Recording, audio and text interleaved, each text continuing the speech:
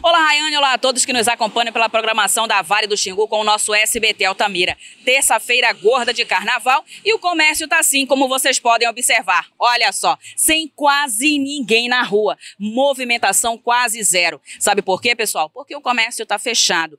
Pouquíssimas lojas abriram nesta terça-feira como, por exemplo, os bancos. Estão todos fechados e só retornam na quarta-feira de cinzas. Algumas lojas estão funcionando aqui em Altamira em ritmo de promoção, chamando a galera para fazer as compras. Ainda tem um público percorrendo aqui o comércio, é justamente esse pessoal que essas lojas que abriram hoje querem atrair. Mas atenção, elas só funcionam até às 14 horas. Farmácias estão funcionando normalmente, assim como os supermercados, que também fecham às 14 horas. Então, se você quer fazer as compras ainda neste feriado, tem que correr.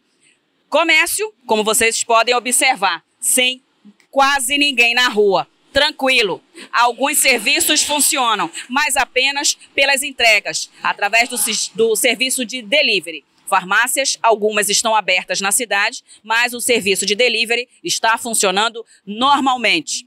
Hoje, terça-feira gorda de carnaval, muita gente está curtindo. É feriado nacional. Amanhã, quarta-feira de cinzas, o comércio já volta a abrir normalmente. As agências bancárias somente a partir do meio-dia. E o público volta a trabalhar normalmente com o fim do carnaval oficial a partir do meio-dia da quarta-feira de cinzas. Eu volto com você, Rayane.